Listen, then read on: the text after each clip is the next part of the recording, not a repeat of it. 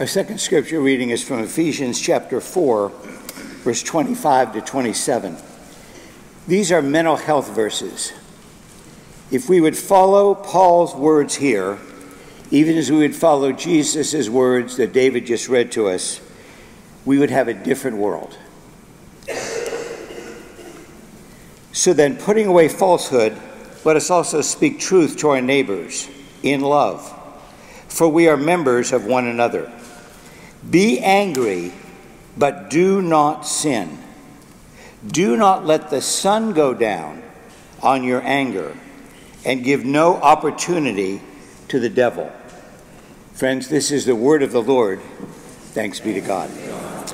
Before I pray, I just want to say this is not an easy sermon to preach about anger, and it's not an easy sermon to hear about anger. So I'll make a deal with you. I'll pray for you while you hear it, if you pray for me while I preach it. Fair enough? Will you pray with me? Gracious God, anger is not an easy topic. We've all made mistakes with anger. We've all been the recipients of anger. This sermon strikes at the core of our being.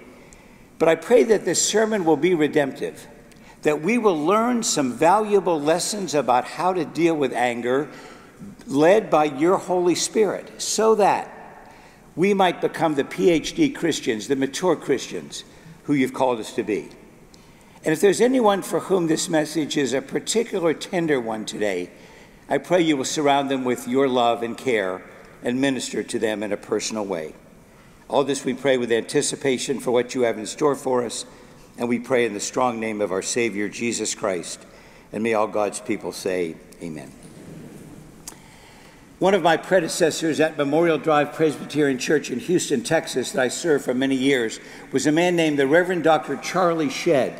Charlie and his wife Martha wrote many books on marriage and family life. And years ago, they taught a course that they titled simply How to Raise Children. By the way, they taught that course before they had any children. Then, when they had children, they taught the same course, but they called it Suggestions on Raising Children. And then, when their children were in the teenage years, they taught the very same class, but they called it Feeble Hints from Fellow Strugglers. So I've come this morning to offer you some feeble hints from a fellow struggler about the Christian life, and particularly how we as people who say we follow God and believe in the Lordship of Jesus Christ, how we deal with anger. On this Father's Day, I wonder if there's any fathers who have ever said anything you wish you've never said or done anything you wish you'd never done. I wonder if there's any father here who's ever overreacted when your children made a big mistake. My two sons uh, gave me a Father's Day card some years ago that said, Dad, we remember that prayer you used to pray every night before we went to bed when we were kids. And you open the card up and it says, God help you if you ever do that again. Anger is not an easy topic. Anger is a tough topic. I, I, must confess to you that sometimes I've taken out my anger at something at the church, at the office, on my family. I hate admitting that. And sometimes I've taken out anger at my family and people at the church. Sometimes, isn't it true, we take out anger from one part of our life into another part of our life, or, or an unsuspecting or innocent motorist is the object of our anger sometimes. Not any of you, of course, but you might know somebody who's had that. But anger is a tough topic. And for me as a pastor, I've actually had to deal with a lot of anger. I've absorbed a lot of anger on behalf of God, on behalf of the church, and I've been to the court of law with the family court, and uh, there's a divorce court, or they're trying to deal with custody of children, and, and the, the, family members are really mad at each other, and they're mad at the judge and, and mad at the verdict. And I've been to the hospital when someone they thought was going to live died in surgery, and people are mad at the doctor, and mad at the nurse, and mad at the technicians, and they're just mad at everybody. And I've been to the graveside when people get mad at God and and they get mad at the church and they get mad at the funeral director. I've been to church meetings when people get mad, and you wouldn't think there'd be anger at church meetings, but sometimes there is anger at church meetings.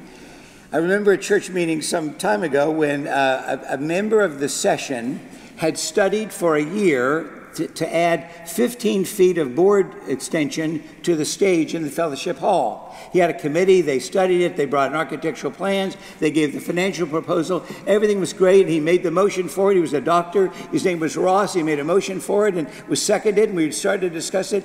And during the discussion, somebody brought up that we could use that $70,000 instead of adding an extension to our stage, we could use that for mission in the world. And others said, yeah, you know, we could use that for mission. And before you knew it, they had tabled the motion and they weren't going to deal with it for several months. They put it off. All this work Ross had done had gone up in flames in a tabled motion. And Ross was calm. He got up from his chair and put his coat over his arm and picked up his briefcase and he walked out of the room and he slammed the door. And I sensed he was angry. So I followed him out to the parking lot. I said, Ross, uh, I'm so I'm upset. I, I, know you're upset too, and and uh, I'm sorry about what happened tonight. Could I talk to you? Could you tell me what's going on? He said, You don't care. I said, Yes, I do care. I wouldn't have come out here if I didn't care. He said, Well, well would you be willing to hear what I have to say? I said, I would. I'd listen to you right now if you want. But he said, No, let's do it in the morning. You need to get back to your meeting. I need to get home. Let's do it in the morning. Would you make me for breakfast? I said, Sure. What time and where? He said, Well, come to my home. Now, Ross was a doctor, so he had to be at, at the office at about 6 or 6.30 in the morning. He said, uh, Meet me at my home for breakfast. I said, What time? He said, 5. Now, I wanted to say, Is that AM or PM? But I didn't do that. I was on thin ice with Ross. So I just said, uh, I'll be there at 5 a.m. And I got up the next morning at 3.30 in the morning. I didn't even know there was a 3.30, but I got up at 3.30 in the morning and I showered and shaved, got ready. I drove to his house. I was there at quarter to 5. I didn't want to miss this moment. So I went in, we had coffee, we had eggs and bacon. It was wonderful. And over breakfast, he said to me, well, here's what was going on with me last night. I thought you preached that every kid in this church is valuable. But now I realize the session doesn't believe every kid is valuable. I said, why do you say that? He said, well, they voted against, they voted against my, my motion. I said, they didn't vote against it. They just tabled it till later. He said, yeah, but they want to give the money to missions. They, they don't want to give the money to the kids of our church. I said, Ross, so tell me about this. He said, well, have you noticed that the last three or four musical productions, there's no room on the stage for our children? Have you noticed that we get a few people, uh, some kids up there, but our stage is so small that the kids have to stand on the ground? And I see grandparents and parents trying to get over somebody to take a photo of their kid in the production. And I don't want any kid to be on the floor when they can be on the stage. I thought you believed that every child in our church is a child of God, and everybody in the world, including you and me, are children of God. I said, I do believe that. He said, Well, then, being on the stage and getting celebrated and, have, and realize that God loves them is very valuable. And when this sophisticated, brilliant doctor from Harvard Medical School got tears in his eyes, I said, Ross, there's something else going on with you here. He said, When I was in college, I wanted to be an athlete. My father wanted an athlete. He didn't value me, he valued my brother. My brother was the state wrestling champion in high school. My dad didn't value me, he valued my brother's athletic ability. I was valedictorian of my high school class. I was captain of the debate team, one of the top debaters in the state, but my brother was the state champion wrestler, and my dad valued that. So when I went to college, I worked my tail off. I, I got in shape, I lifted weights, I ran wind sprints, and I made the college football team. And I called my dad and said, Dad, I got a uniform. He was so proud. I said, There's a home, there's an away game right near your home where, where we live, and you, maybe you and mom could come. He said, We'll be there, we'll bring the grandparents. And we, they want, all want to see me in uniform. And the Thursday before the Saturday away game, the coach said, This is our first away game. All of our away jerseys haven't come in yet. We've only had 60 away jerseys. So 10 of you, there's 70 on the team, 10 of you will not be able to suit up for this game. And he read the list of the 10 who wouldn't suit up. He said, The hardest call I ever had to make was to tell my dad I wasn't going to be in uniform for the game. And when I looked at my dad, I was on the sidelines in my street clothes. As I looked up to my dad and mom in the stands, my father just kind of shook his head. I don't think he really believed I was on the team and had a uniform. And then, with this deep emotion, this guy said to me, Tom, I don't want any child in this church to ever feel what I felt, that they're left out. I want them to feel like they're children of God. They're included. I said, Ross, would you tell the session this? He said, they don't care. I said, Yes, they do care deeply. They care for you. Tell them.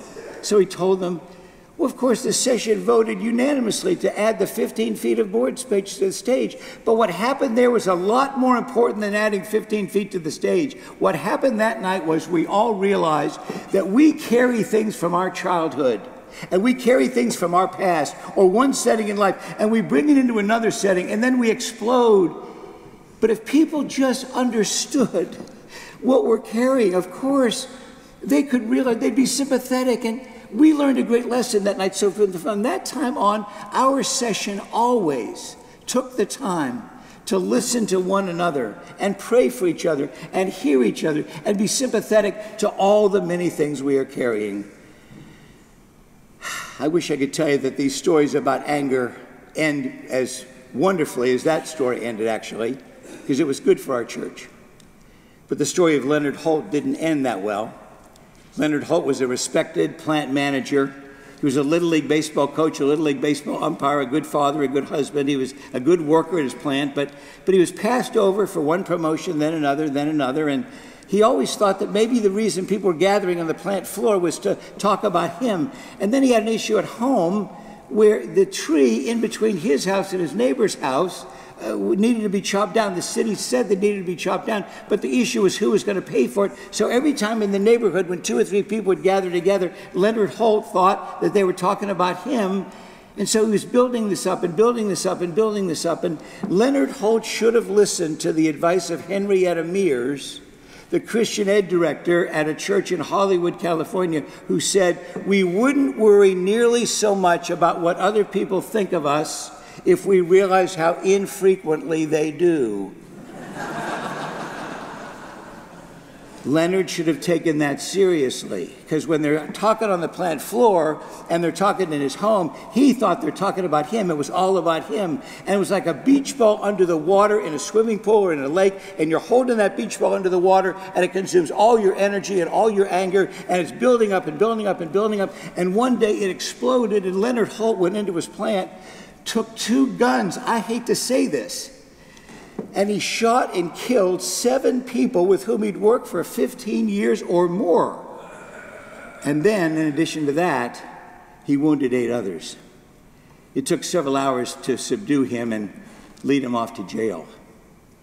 And I'm sure you've all read about Sandy Hook Elementary School in Newtown, Connecticut, where this past week the class of 2024 graduated, but the kids were six years old when that terrible shooting occurred back in 2012. And, and 20 of their classmates didn't graduate because they were not there. They had died when they were in the first grade. This topic of gun violence and anger is a terrible topic to deal with. It's an, it's an awful topic. But the reason I bring it up is I believe if we're going to get the PhD in Christianity, we've got to learn to deal with anger. Actually, anger can be redemptive, anger can have a good possibility. So the Bible says this amazing thing be angry, but do not sin. Jesus said, if you're angry at your brother, don't offer your gift to the altar. Go and be reconciled to your brother, and then come back and, and offer your gift to the altar. If you're angry with your sister, leave the, the altar, go be reconciled to your sister, and then come back and offer your gift. And then Paul says, Be angry, but do not sin. The sin is letting the sun go down on your anger, and it builds up like the beach ball and the beach ball and the beach ball, and it goes roaring and roaring and roaring, and then it rages. And the Greek word for that is thumos, T H U M O S. There's an explosion like Leonard Holt happened in the plant. Be very sure anger can be good. Jesus was angry at the money changers, at the Pharisees, sometimes angry and frustrated with his disciples. Throughout the scripture, God is angry. God is angry at the faithlessness of people. So God gives us a choice.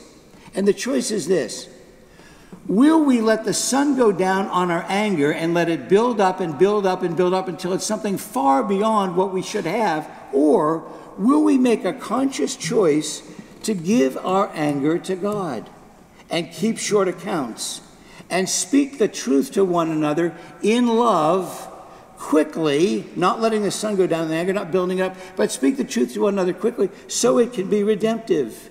If we're going to get the PhD in Christianity, we've got to learn healthy outlets for our anger. So Fred Rogers has made a career out of this.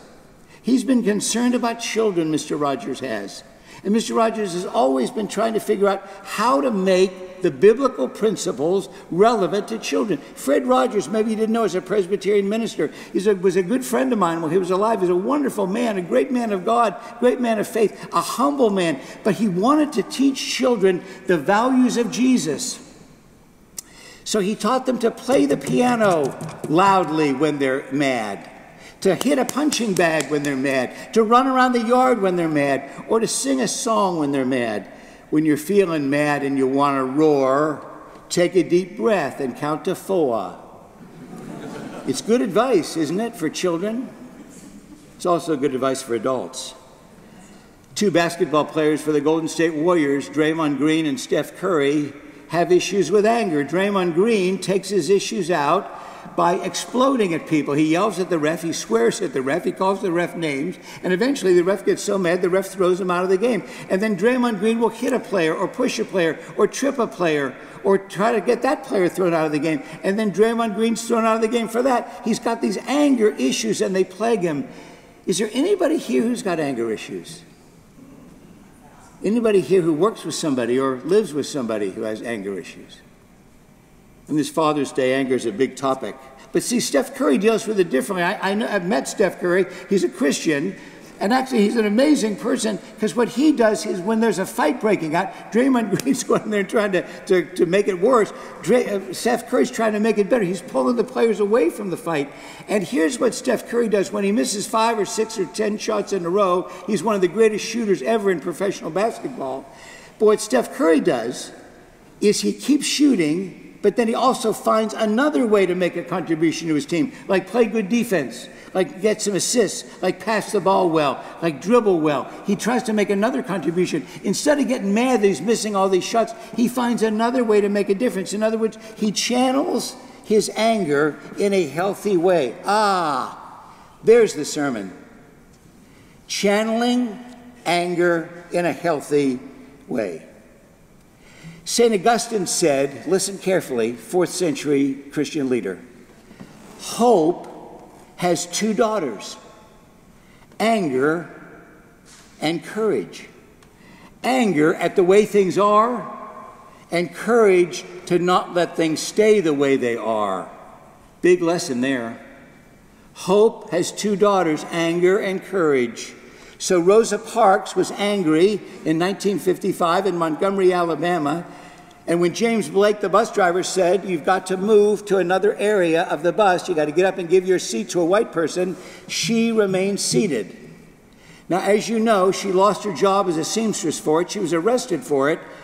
But as you also know, when she remained seated, the world stood up.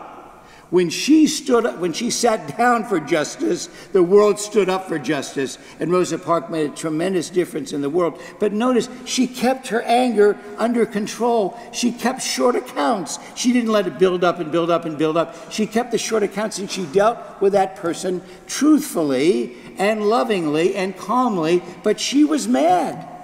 But she found a healthy way to deal with the anger. You know, I have one more week here at Independent Presbyterian Church. I'm already kind of grieving that next Sunday is my last Sunday, but I've had a magnificent opportunity, and, and I've come to love this congregation and love the staff, and it's just been one of the great privileges and joys, frankly, of my whole life to be here for these over two months. But one of the greatest moments of these two months has been going with Melissa Fitzpatrick down to Montgomery, Alabama. I saw the lynching museum and the museum where they talk about the slave trade. And I read some of the stories and saw some of the stories and depictions of some of the stories of these families that were pulled apart because a family member was going to be lynched. And I also saw the stories of where the family member is going to be sold into slavery, and the mother or the dad or the child would never see their parent or their daughter or their son again ever. And, and you just have to weep at this. And then I saw the statistic about the precise nature of these boats that come over to America. And all these boats had exact, precise measurements of the tea and the tar and the turpentine. They had exact measurements how much tea, how much tar, how much turpentine, how many containers of each. precise nature. But then when you look at the statistics of the slaves that are carried over, you realize they didn't know exactly how many slaves were shipped, nor did they know how many slaves arrived because the slaves, I hate to even say this, were thought of as three fifths of a person. So, I've wondered how Bryan Stevenson has done it. I've wondered how in the world has he told this story? You know about the Equal Justice Initiative and the magnificent work he's doing there. But, but I, I wonder how does he do, how does he tell this story? Well, he wants to tell the story so that people will never repeat it, never think of it again. He, he wants people to, to think about it and not get it out of their mind so they'll never repeat it again. But I wondered, how does he get the strength to do this? I mean, I was shot after a day down there, and I wonder, how does he work with this day after day after day? And what I realized was, as I did research on him, and I've heard him speak on this topic, that he is a person of faith. See, when he was a little boy, he grew up in the AME church in Delaware, and he heard the gospel that all people are worth something. All people, regardless of their color, race, or creed. He learned that. He learned to sing the hymns. He went to Sunday school. He learned the Bible passages. And he needed that faith because when he was 16 years old, I didn't realize this till recently, his maternal grandfather walked in on a robbery in the home and he was stabbed to death in his own home. And Bryan Stevenson had to figure out how to deal with that, how to deal with that anger. But Bryan Stevenson said, I grew up in a church that taught me not to worry as much about revenge as reconciliation let that lean against you a little bit. I learned not to worry so much about revenge as reconciliation and redemption. And Bryan Stevenson then said, I learned in that that eh, that the worst thing a person does does not define them as a person. We are more than the worst thing we ever did. And Bryan Stevenson has done this all of his life. But he, all of this is rooted and grounded in Jesus Christ and in his faith. So, my beloved IPC friends and family, and many of you have become like family to me in this time, I beg you to, to do what Bryan Stevenson did, and what Steph Curry did, and what Fred Rogers did, and what Rosa Parks did. I beg you to take your anger and put it under the lordship of Jesus Christ. Take your anger and put it under the lordship of God. Give it to God. Don't wait another minute to do it. Do it today. And the reason I say do it today is do you remember Leonard Holt, that plant manager from Pennsylvania, who shot seven and wounded eight? He waited much too long. Think about it. Amen.